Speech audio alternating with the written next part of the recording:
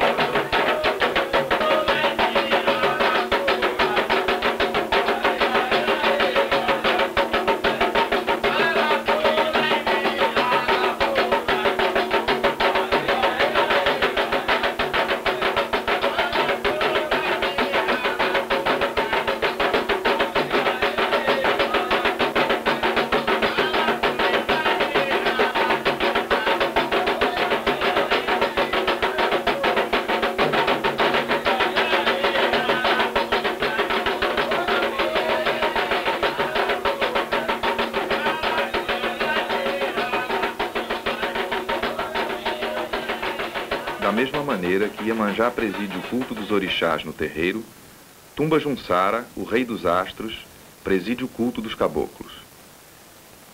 Ele não só é representado visualmente na parede principal do barracão, atrás dos atabaques, como tem assento numa pedra colocada no centro do seu peji. Como ocorre com Iemanjá, quem o recebe é a Yalorixá, zeladora do terreiro.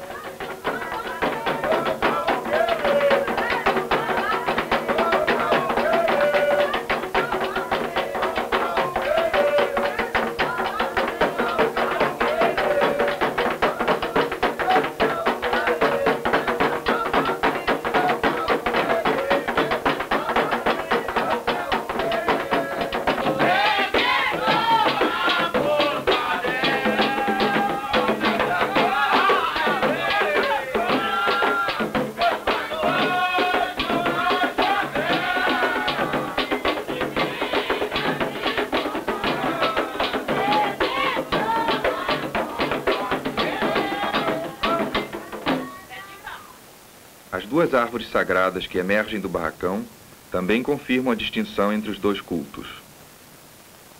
A primeira, um cajá, é dedicada a Obalu Aie, ou Omulu, orixá da terra, temido senhor das doenças epidêmicas como a varíola. A segunda, um oiti, pertence a Tumba Junsara.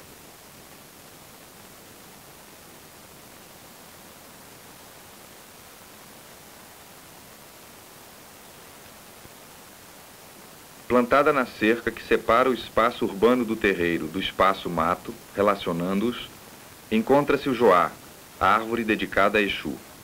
Orixá que estabelece as relações e ligações, seu culto se faz necessário indistintamente na linha africana e na de caboclos.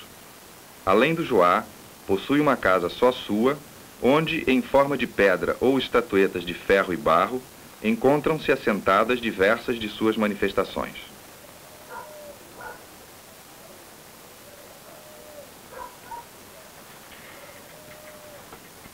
Cozinha também será de utilização comum dos dois cultos. Aí se preparam as comidas sagradas da preferência dos orixás e caboclos, como as que alimentarão os assentos de Exu.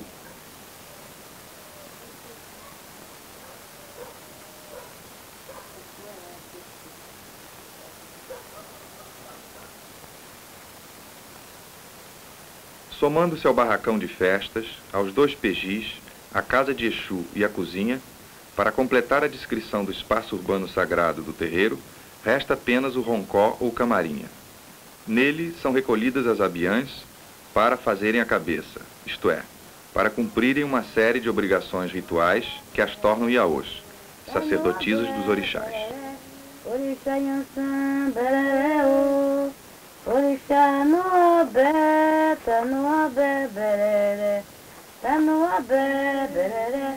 no abé, tá no abé, berere, tá no abé, berere. Orixá Orixá no no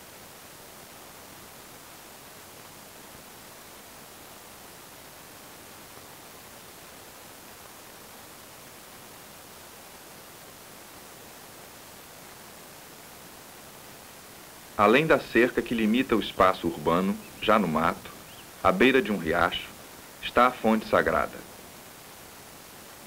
Aqui se colhe a água para as obrigações do culto. Aqui se banham antes do sol nascer ou depois que se põe as filhas recolhidas no roncó.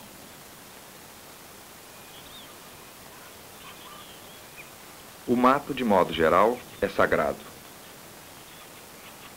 A vegetação, no entanto, tem como orixá patrono Ossanha ou Agué e só os sacerdotes que dominam seus segredos podem colher as ervas ou içaba para fins rituais.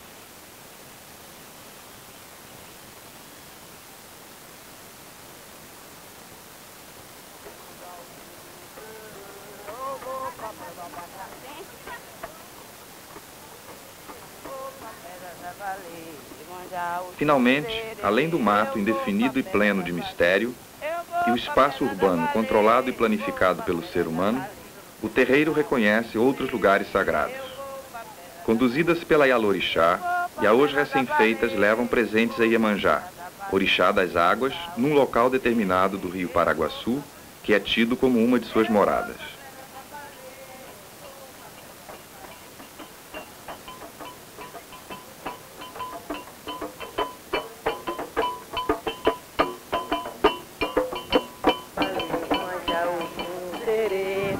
Pra pedra da baleia. Eu vou pra pedra da baleia, eu vou pra pedra da baleia.